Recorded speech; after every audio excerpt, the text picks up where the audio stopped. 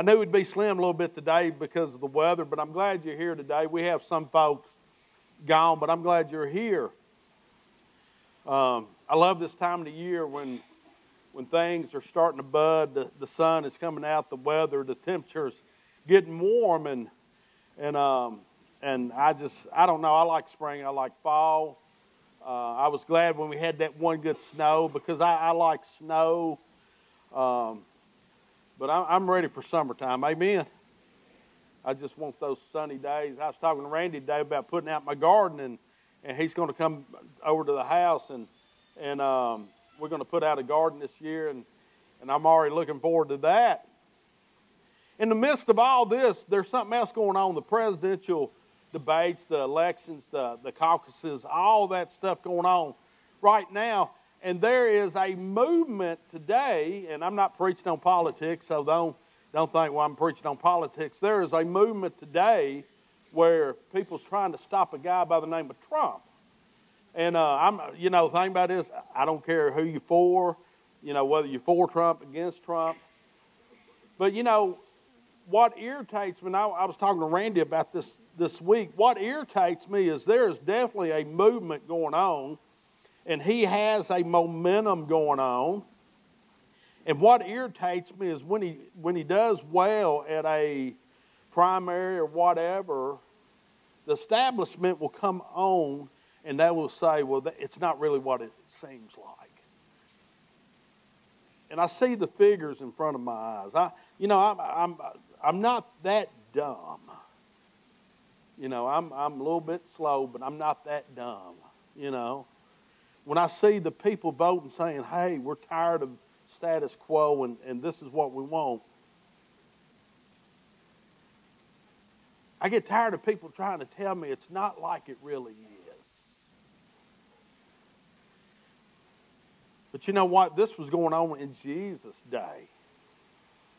There was a movement going on in Jesus' day where there were people rising up going, hey, there's something different about this guy. There's something to this Jesus. Matter of fact, he would perform miracles, and even the establishment, which were the religious leaders, they would rise up and go, you know what, we can't, we can't, um, that's my guys going by right there. Hey, I'll catch up with you here in a minute. I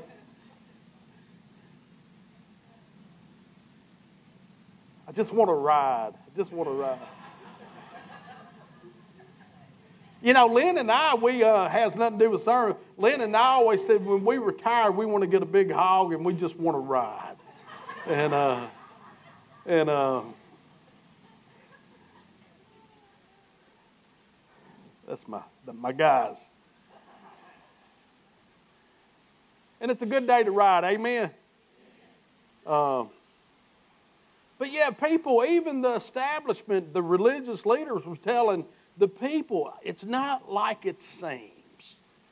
And Jesus would perform a miracle. Jesus was doing great, great miracle.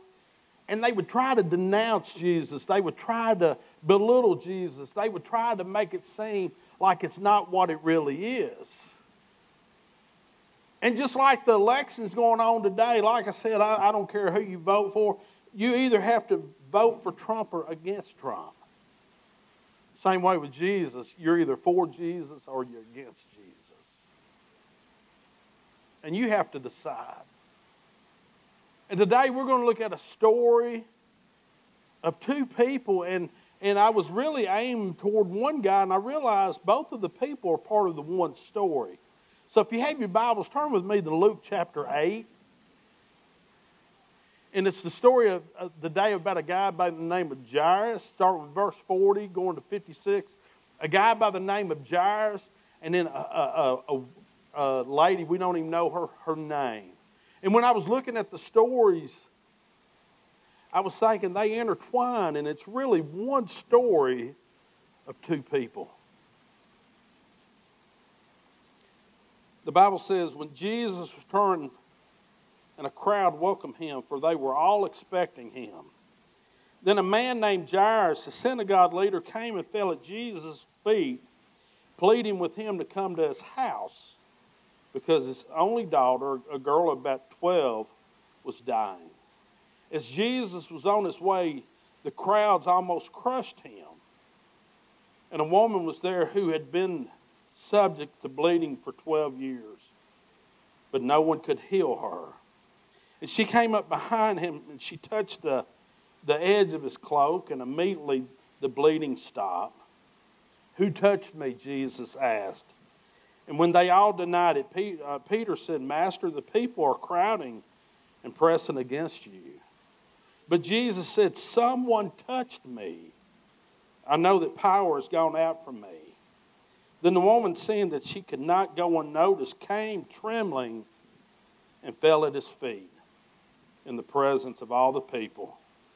And she told why she had touched him and how she had instantly been healed. Then he said to her, Daughter, your faith has healed you. Go in peace.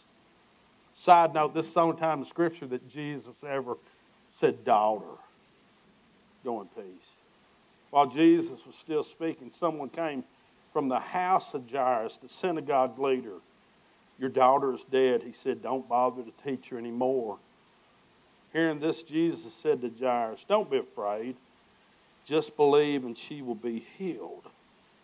And when he arrived at the house of Jairus, he did not let anyone go in with him except Peter, John, and James, and the child's father and mother. Meanwhile, all the people were wailing and mourning for her. Stop wailing, Jesus said. She is not dead, but asleep.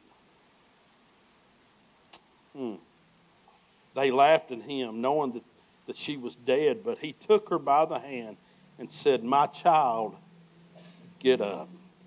Her spirit returned, and at once she stood up. Then Jesus told them to give her something to eat, and her parents were astonished. But he ordered them not to tell anyone what had happened. This is really one story, but it's two people. And I want you to see the difference between the two people and how healing came to both of them. You know, here, here's the thing here is a guy by the name of Jairus, it, it mentions him. Here's a woman, it, it, they don't even mention her name. Here's Jairus, he's the head of the synagogue. And you know, he, he's in charge. And if you do a study of his job, his job is to line up the pastors, line up the priests, line up the order of, order, of worship, line up the sacrifices. He was in charge of the temple.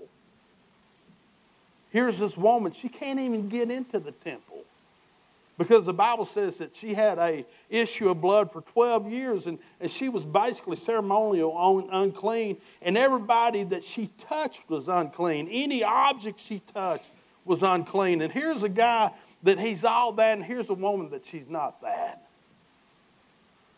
He was probably wealthy. She was poor because this story is found in, in two other gospels where in Matthew and Mark, it says that for 12 years she spent all that she had just trying to be healed. And for 12 years, she had this issue. And she's hurting and she's in pain. In 12 years, he's enjoyed his daughter. See, it's a, I mean, just, just a, you know, one extreme to another extreme. But they had one thing in common they were both hurting. And I want you to understand whether it's a, a physical ailment or an ailment of a child or an ailment of a prodigal son or an ailment of a lost sheep. When you hurt, you hurt. Makes no difference what the hurt. When you hurt, you hurt.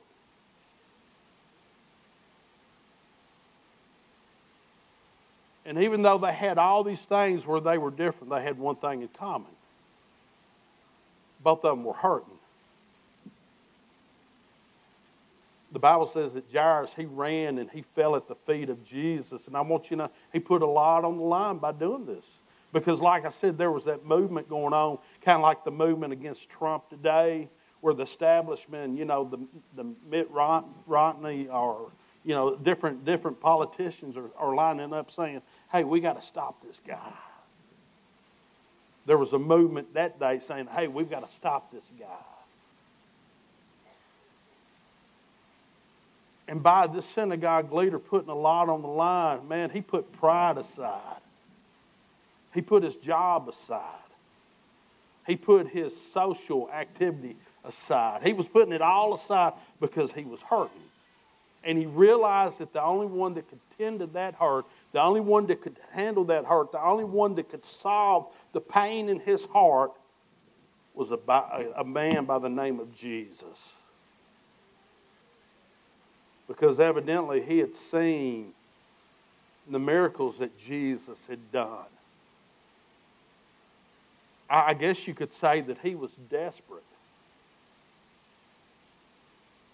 And you know, if you do a study when it says that he fell at his feet, he probably fell at his feet and he probably kissed the feet of Jesus.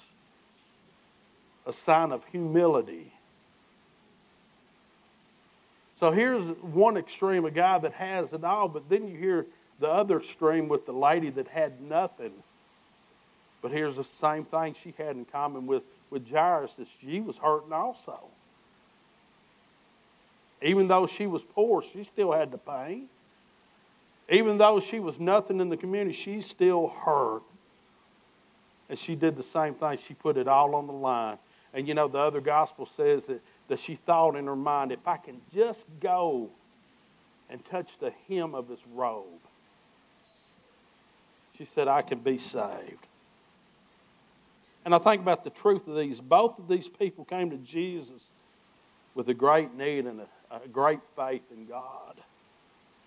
And I want you to see this. Jesus looked at both of them in love. He looked at Jairus in love, and, and we'll see here in a second how he went to his house and he healed his daughter. But he looked at this lady that meant nothing in the community with love. I want you to understand that God is very clear. God shows no favoritism. And I want you to, to understand this truth. You can be all that or you can be nothing at all. And the Bible says that God loves us. Aren't you happy about that? Jesus showed love for both of them.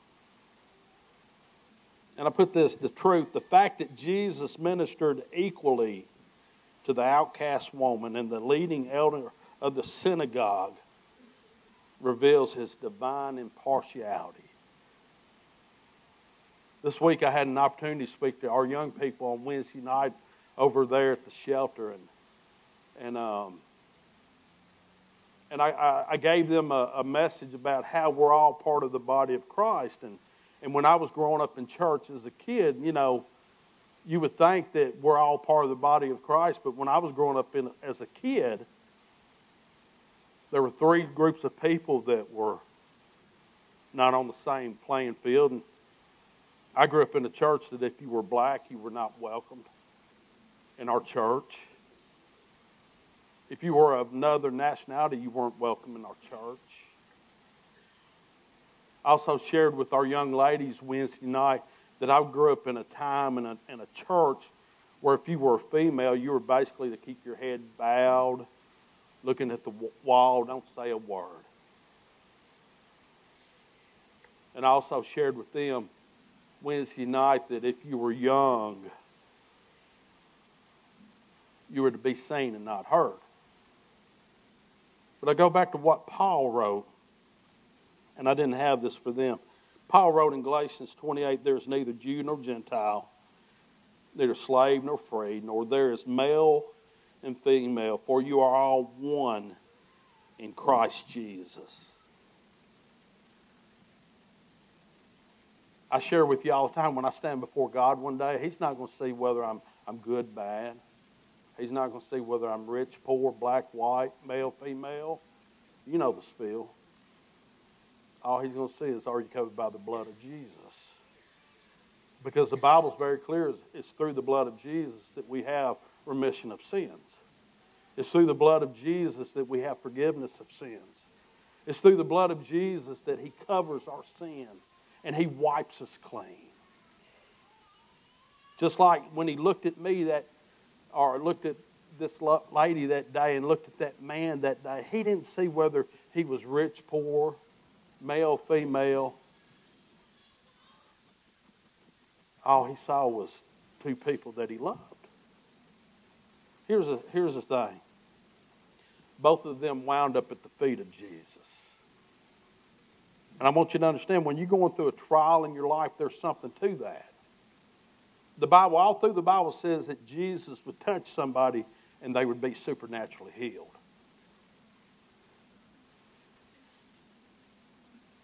People would go to the feet of Jesus for a lot of reasons. That day, Jairus went to the, the feet of Jesus and he went to the foot of Jesus with a prayer.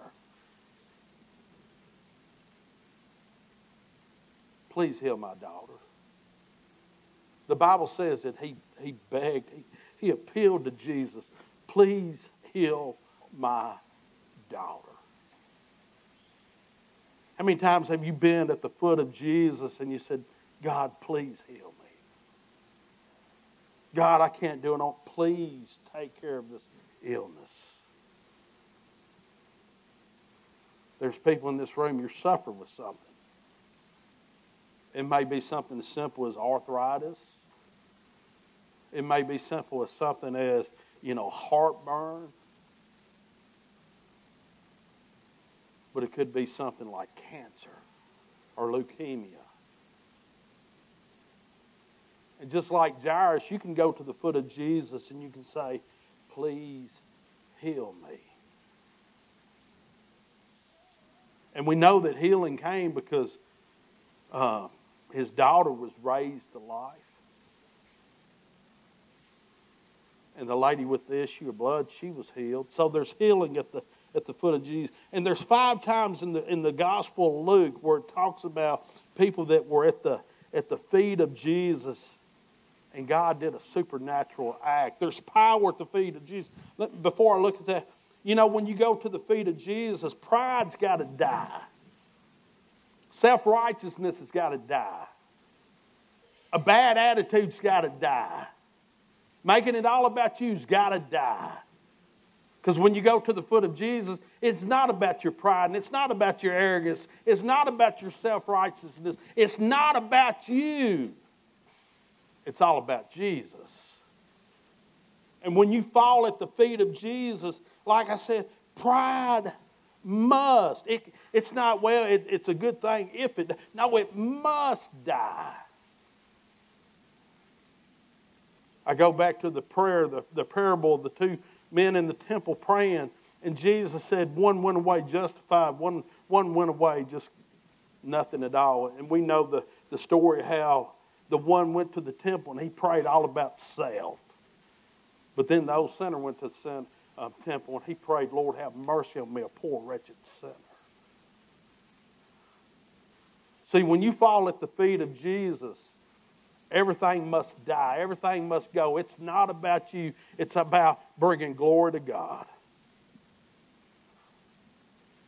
There was a prayer offered at the feet of Jesus, there was healing at the feet of Jesus. Another time when Jesus, in, in chapter 8, he, he cast out the demons out of a guy.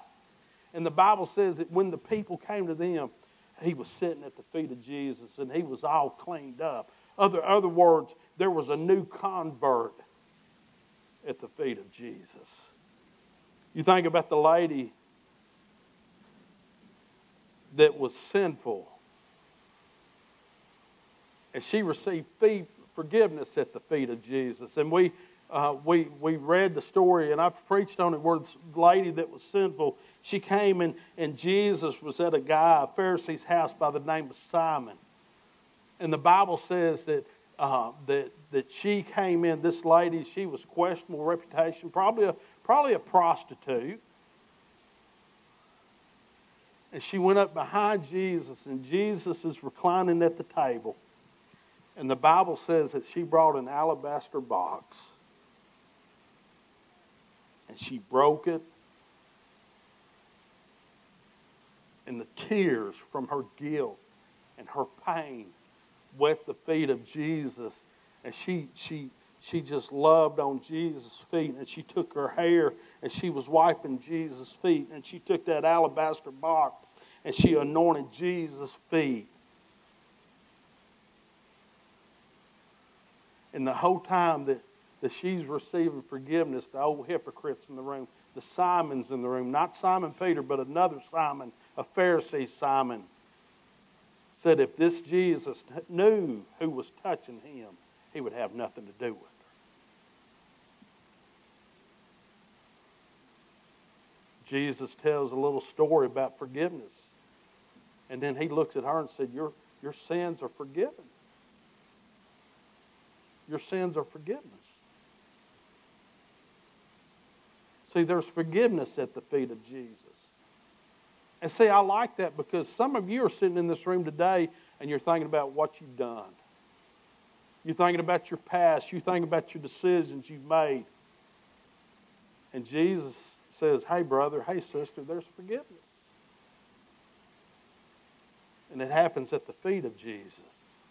I think about another time, Jesus, there's teaching at the feet of Jesus. We, we see in Luke chapter 10 where Mary, we know Mary and Martha and Lazarus, but Mary's at the feet of Jesus and he, she's just soaking in his teaching.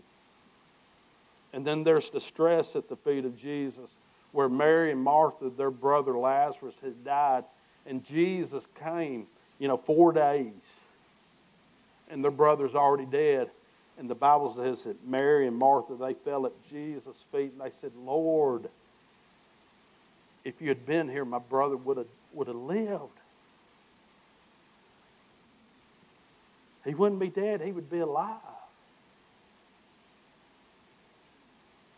See, there's distress at the feet of Jesus.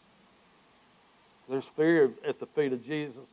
We're doing our, our study in Revelation in, the, in chapter 1 in Revelation. It talks about when John realized that he was in the presence of Almighty God and he was in the presence of the Lamb of God, which is Jesus, he fell at his feet in fear.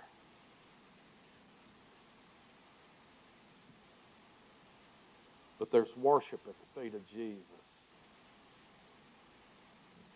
Luke 17, when the, when the ten men with, that were lepers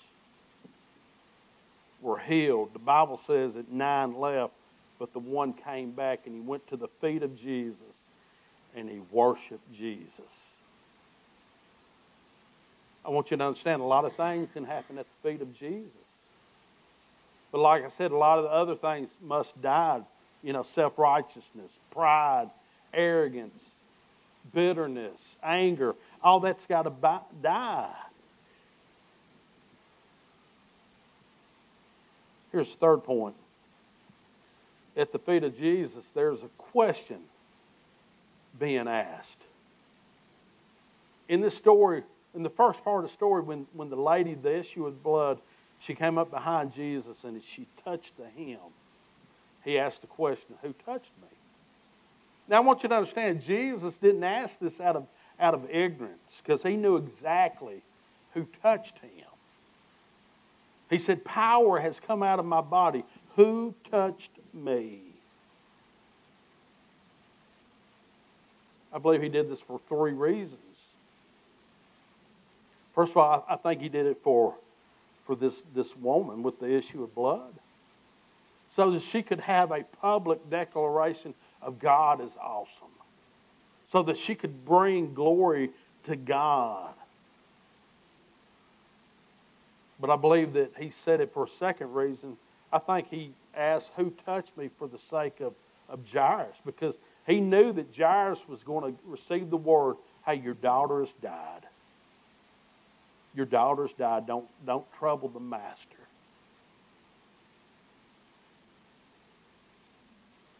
But I believe he did it for a third reason for the crowd.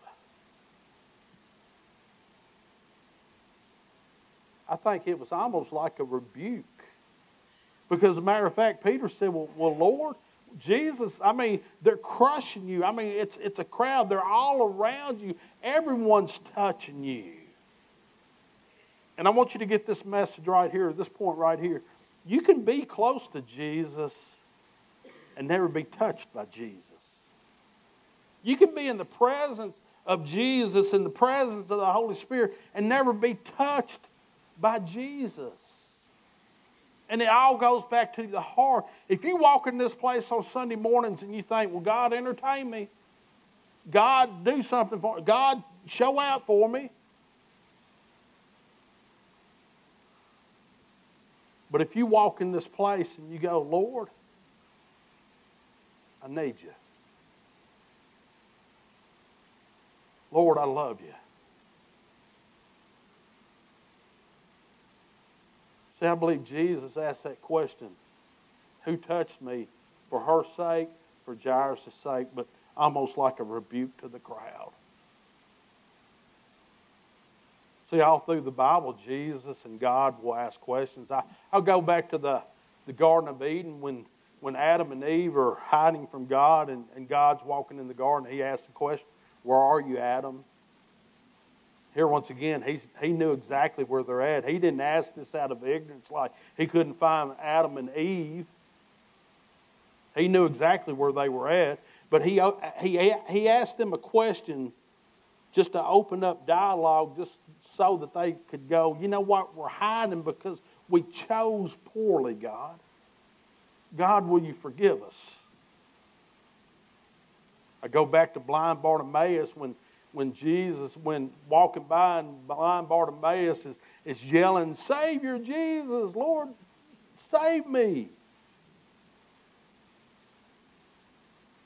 And Jesus, you know, the crowd trying to quieten him, he, he yelled even louder, Save me.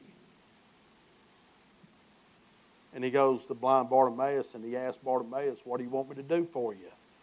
Knowing full well that he's blind, knowing full well that he wants his sight. But he asked him a question because he wanted Bartimaeus to go, I want to see.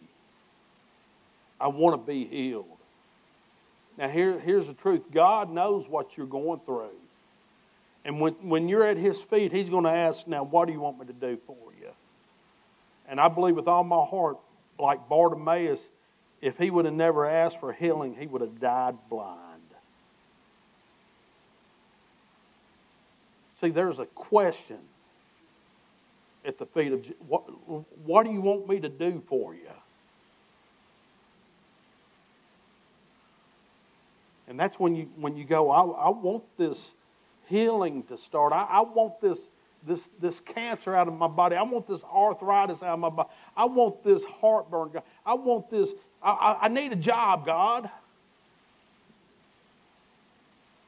I tell people all the time, and I've told some of you in this, this room today, you know, people come and they, they say, well, you know, and I have a lot of requests on different things, but you know, people say, well, I, would like to find a good, good, good lady or good man. And I always tell the same thing, and I've told some of you this. And I always say, start writing a list. Start making a list of what you want in a, in a man or a woman. Start making a, and I, and I, and I always say, be specific. You know, if you want someone that's a Christian, right? I want a godly man. I want a godly woman. If you want someone that, that's not drinking, I want someone that won't drink. You want someone with a job, I need a man with a job. Ladies, that's a good one right there. And I tell people all the time, even list the things that you don't want. But don't just make a list and never make, making that list is the first thing. Start praying over that list. And then later on, don't kind of compromise and we'll go and go, well, he, I guess I can have a guy that's not a Christian and, and I'll, I'll lead him to Christ. Our job's not that big of a deal. Just send me a man or send me a woman. No, you keep you write that list and you start praying over it because God at the feet of Jesus he will ask you a question What do you want? Now, here's the same way with healing. Same way, if you need a job, say, God, I mean, make your list and, and start praying over it, saying, I need a job. I need my child to come home. I need healing. See, there was a question asked at the feet of Jesus. And I like this right here. You know, when healing came for Jairus, healing came when he, he cast the non believers out of the room. You notice that when he went to Jairus' house, the Bible says the only one, Peter, James, and John, Jesus, and the father and the mother, they were the only one that went into the room. The crowds are outside laughing at Jesus when he said, You know what? She's just asleep. The non believers were outside. The Bible says there was a time that Jesus went to his own hometown. And I'm, I'm thinking the Son of God, and the Bible says because of lack of their faith, he was unable to perform many miracles. Not because he's not powerful, not because he's not God, it's because of lack of their faith. There was no miracles that were performed. Other words, the non believers were in the crowd and they were edging on the crowd and they were saying, Oh, this Jesus, we got to put an end to this Jesus. So healing came for Jairus when he put the crowd outside the room and he put the believers inside the room. And I want you to get this point right. If you're going through a trial in your life and if something big is happening in your life and you need healing or you need whatever from God, put the naysayers outside the room. Put the unbelievers outside. Don't let them get in your ear and start yakking. Because here's the truth my God is powerful, my God is great, my God is still in the miracle business. And glory comes to him when he performs the miracle. And here's the truth when you're back against the wall and when it looks impossible, that's when God shows out the most. And you know why? Because you won't receive any of the glory, and people will know it had to be God. But until that time put the naysayers outside, put the unbelievers outside. And when you pray, don't pray a prayer with a escape clause in it. If you need healing today, pray, God, please take this from me. And don't add that little tag, but if you won't take it from me, God, I, I'm fine with anything. God already knows that. If your heart is like that, He knows that you're fine with kind of like Shadrach, Meshach, and Abednego, before they're going through the fiery furnace, they said, My God is able to deliver me. But if He won't deliver me, I'm okay with that also.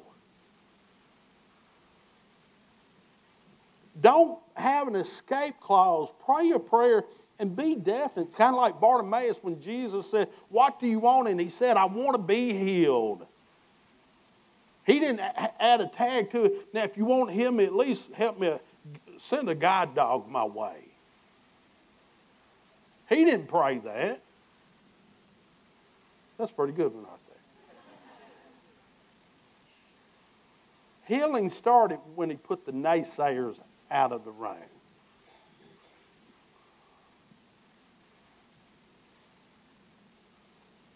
Right here's last truth. The same God that I'm talking about with Jairus and this woman with the issue of blood, the same God that healed them, He's the same God we worship. He's the same God we, we cry out to. He's the same God that's still on the throne.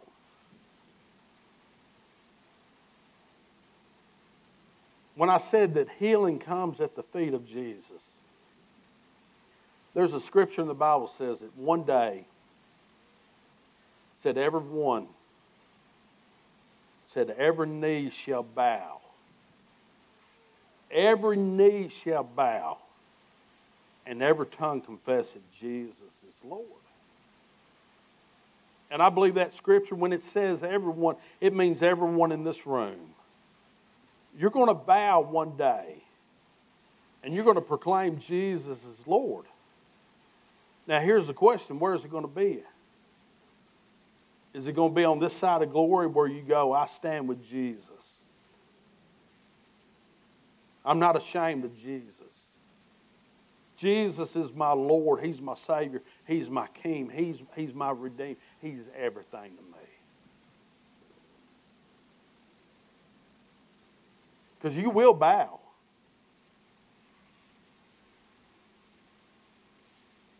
There will be people that bow one day on the other side of glory at the great white throne judgment.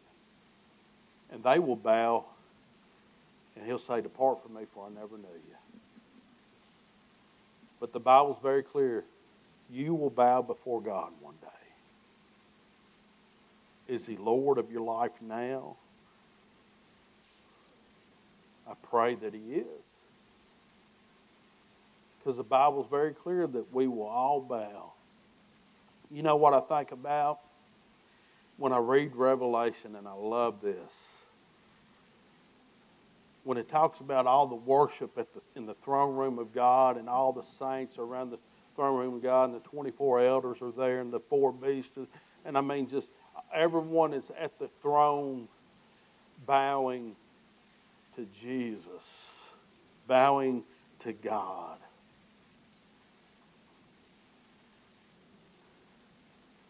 Your loved one that's already gone on.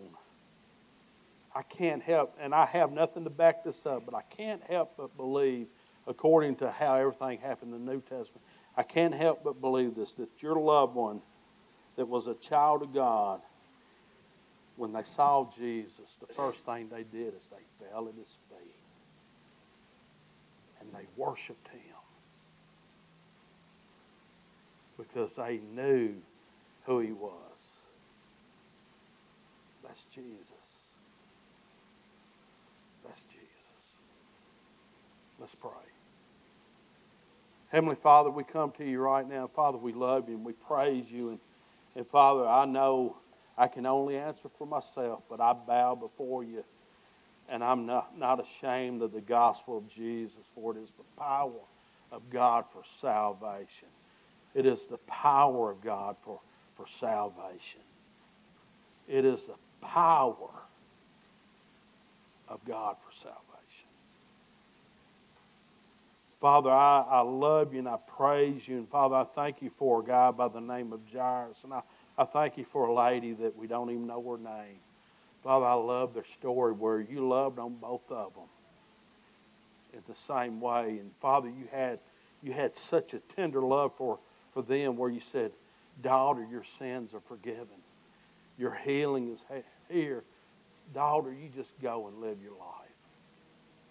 And I love the tenderness where you told Jairus, don't worry. Don't be afraid. I'm going to heal your daughter. You just stand strong, Jairus. I'm going to heal your daughter.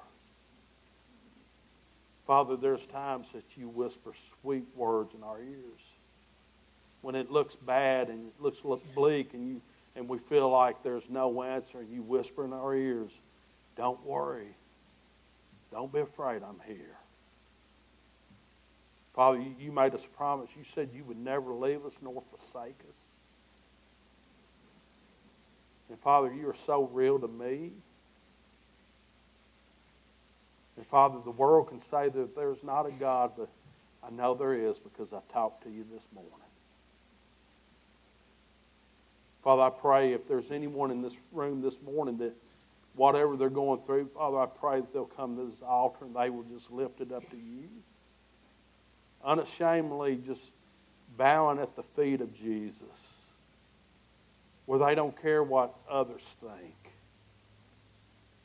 where they don't, where they don't worry about what some others may think about them, what they may say, what they may talk about.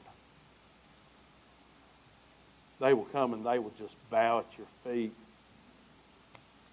And Father, ask them that question what do you want me to do? And Father, just let them be specific with you. Father, it's my prayer if there's anyone that, in this room this morning that, that needs Jesus as Lord and Savior, that, that they'll receive you today. And Father, that's why Bradley and I stand over here on each side where people, if they need to pray with us, where we can help tell them how they can find Jesus. So, Father, I guess what I'm trying to say, help us to continue to worship you. And, Father, help us to fall on our knees at your feet. And, Father, we love you and we praise you. And it's in Jesus' name we pray. Amen.